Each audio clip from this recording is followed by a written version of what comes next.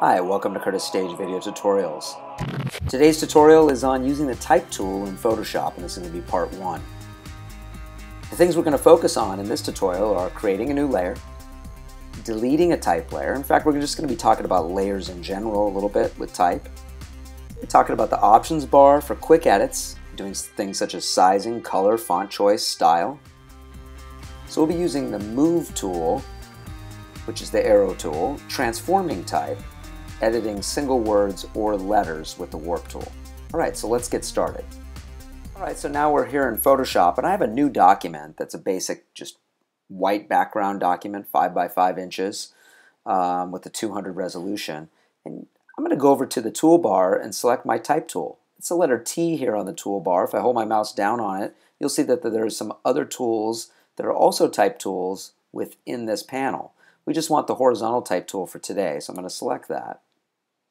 Now, the first thing we're going to talk about is you'll notice that there's an options bar up at the top of Photoshop. It's going to talk to us about, it's going to tell us about things like the type of font that we're picking, the uh, style of the font, the size of the font, and then some other uh, options over here, which we'll talk about in a second.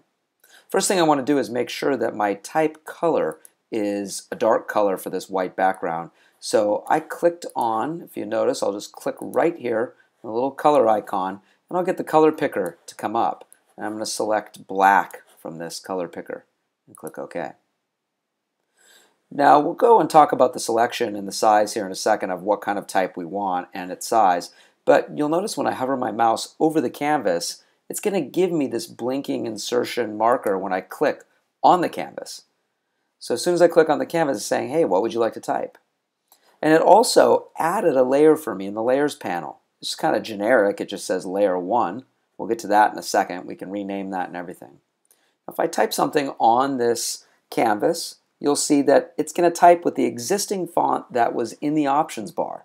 So I haven't changed anything yet. Photoshop remembers the last font that you used when you were in Photoshop. So in my case, this was a font that I had downloaded called Raleway that I like, and it's going to remember that same font. Now let's say I want to switch this font. Let's say this is not a font that I want. I want to use something else.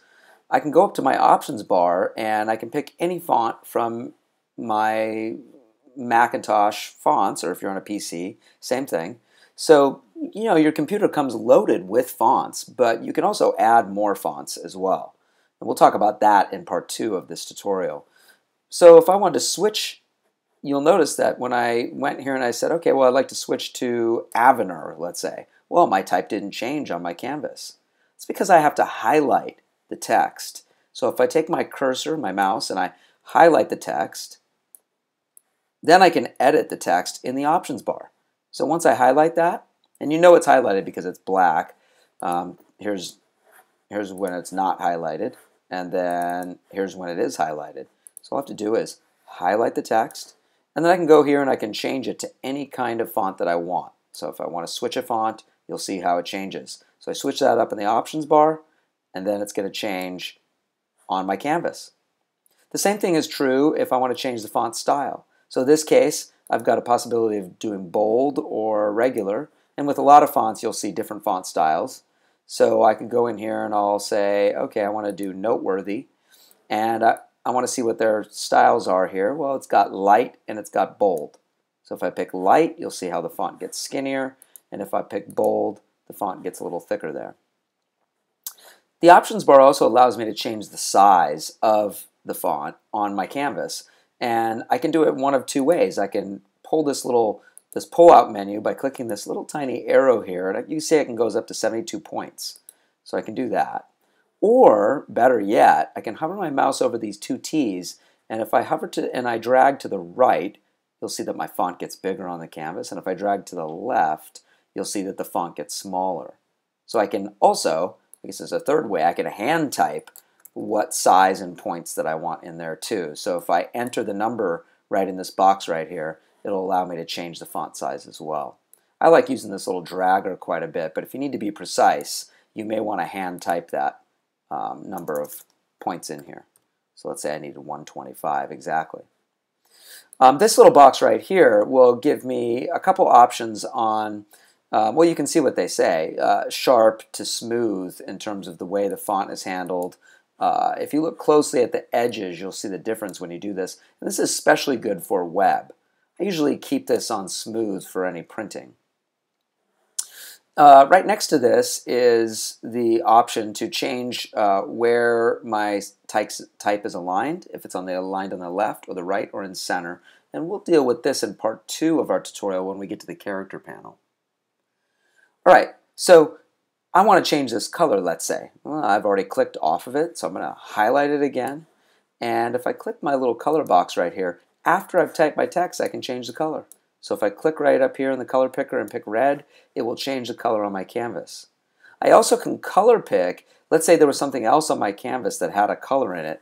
I could notice how there's a little color picker right here, a little eyedropper tool. If I had some other object on my canvas, I could color pick from that and the color would change immediately. So I can go through here and pick whatever color I want for my canvas. I'm going to click OK to that. Now once I like this type, let's say this is what I want on my screen, I've got two options to click right up here. Well, I can check mark would apply. This would accept the text uh, that I've created, a little check mark. And then I've got this text and I can now go on from there. I'm going to undo that. Let's say I go back in here and I don't want the text at all, any changes that I made, I can click the don't apply and that would have an effect there.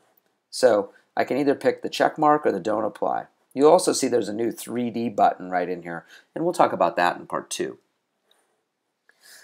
So once I've applied my text and I like what I've got, so I went back to my Raleway font here, then let's look over at the uh, layers panel. Most of the time it's going to give you in the in the type layer itself it's going to show the name or it's going to put a word in there that you typed on your screen. That's pretty convenient. I can always change that by double clicking the word so in this case it was wow and I can change this to um, whatever I want in here. And then I just click and then it's it's that it doesn't change my type on my canvas. It just changes the type layer name. Now if I want to add more type to this canvas, I can. Uh, and but what I want to do, I want to make sure that I do is I want to go to my arrow tool first, click off of my type, and then click on my type tool because what will happen is I don't want to add maybe to this type existing type layer. I want to maybe add a new type layer.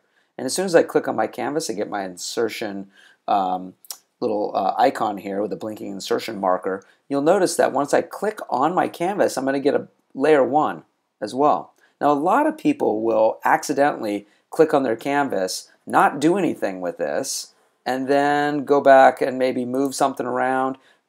So I didn't add any type, and look at how it still keeps my layer 1 type tool. And then they go back here and add another layer, and then you've got multiple random type layers, and, and they don't really display on your page. It's not going to do anything. It's not necessarily bad for your photo, Photoshop document, but it does make it a little bit messy if you're trying to organize a graphic design project. So if I want to delete this type layer, I could drag it simply right down to the bottom of my layers panel to the trash can. There we go. I can take this right down to the bottom of the layers panel to the trash can and I can delete both those layers. Let me add a layer again. So I'm going to click on my on my canvas with my type tool and I can create something else on here. Let's see, some sort of text on here. Now let's say I was spelling something and I spelled something wrong. Well, I want to just take that J out of there. So I have a new type layer, and it hasn't named it yet for me because I haven't um, I haven't accepted this type yet by hitting the check mark up here. But uh, look what I've got here. I've got this J in here. I want to spell yeah, and I've got this J here. Well, I can highlight just that J by itself. I could highlight the whole line, of course, and do what all the things we were talking about before, expanding, contracting the text, making it smaller, change the font, change the font size and the color. So I can do all that stuff. But if I just want to highlight one piece of the text, I can. And then I can hit delete on my keyboard to get rid of that. So now I got rid of that spelling error. Okay, so if I want to highlight this and um, change any of the items in here I can, like we talked about, but I can also do one more thing. I can also do warping with this, uh, with this options bar. So let's look at the warp tool. If I click up here on the warp tool, it's going to give me a little dialog box.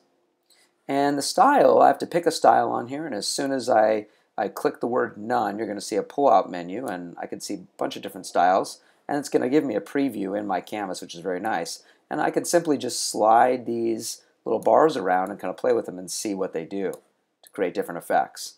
So you can see there's a lot of different ones in here. Here's flag, and I can bend this text, and it's going to give me a live preview of it, which is really nice. Say I like this, I just click OK to that, and I hit the check mark up here in Photoshop to apply any of the changes that I've made to this type. As soon as I do that, my layers panel will tell me two things. It's going to give me the name of the type layer. By default, it's going to use the first word that I typed. And it's going to give me this other icon which shows that I've used the warp tool. And I can go and re-edit this. This is really nice. If I double click this, it will let me re-edit the type tool. So I can go, actually I have to go, it looks like I have to go back up to the options bar to do that. So if I go back to the, up to the options bar, I can re-edit this type tool if I didn't like exactly what I did. So nothing's set in stone, which is very nice. I can reorder these font layers if I go to my black arrow tool or my gray arrow tool now in Photoshop CS6. If I go to my arrow tool, I can reorder these layers. Well, what's the importance of that? Oh, it's just like any other layer in Photoshop you can set one layer on top of another in a graphic design uh, project, let's say.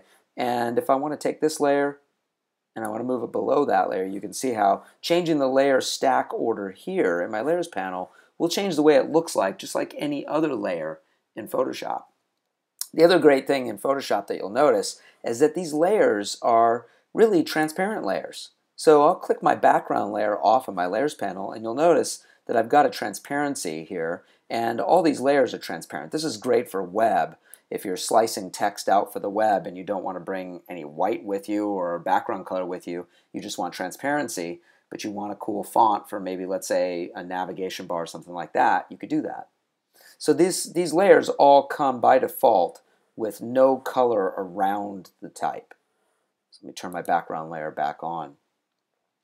All right, like I said before, moving the type around our canvas is really easy. I go to my Move tool on the toolbar, and I can grab the type and move it around. Now, what if I wanted to do some other things? Let's say I wanted to change this type in terms of rotate it or things like that. Well, I can use the Transform tool. Command-T is the keyboard shortcut on a Mac for transform, and Control-T on a PC. And you'll notice that I'll get the transform tool dialog box or um, bounding box that comes open. And if I hover my mouse to one of the edges of this, now I probably don't want to size this here. I'd rather size this with the, with the options bar because it could distort your text in terms of uh, making it pixelated. So I size that up and it may give me some distorted edges. So I'd rather do that sizing within the options bar or the characters panel, which we're going to talk about in part two. So I wouldn't want to do that. I'm going to Command Z a couple times here. I'm going to go to the type uh, transform tool again. But the things that I can do are I can turn this, I can rotate it by dragging my mouse towards one of the corners here and you can see that I can rotate my text. So the text doesn't have to be in a straight line using this um, transform tool or using type. Um, there is no kind of free form type tool uh, in Photoshop. You can do that in Illustrator, but in Photoshop, we don't really have a free-form transform uh, type tool, so I can't draw type along a path as well as I can with with Illustrator. So that would be one of the, the reasons why we would want to use Illustrator. Okay, so that wraps up part one of fonts in Photoshop. So hopefully you'll join me for part two. We'll talk about the character panel, talk about importing fonts into Photoshop and using those. We'll also talk about breaking fonts apart and making them graphic images so we'll rasterize fonts in part two. All right, hope to see you there. Bye-bye.